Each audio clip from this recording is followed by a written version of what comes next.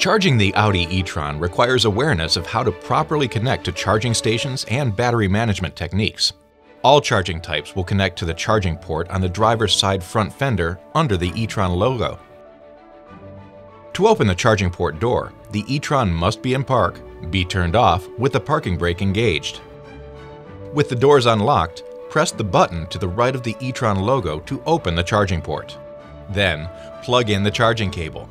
If charging is not being delayed with a timer, the charging process will begin immediately. The light to the left of the port will glow white when the vehicle is communicating with the charging station, and pulse green when it is charging. An indicator will also pulse in the instrument cluster.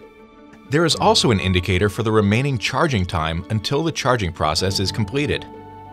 When the vehicle charge is complete, it will be solid green.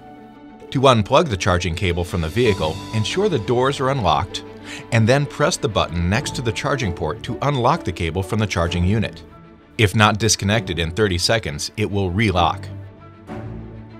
The e-tron can be charged at public charging stations using AC or DC current, as well as home charging stations or the Audi portable compact charging station with household or industrial AC sockets.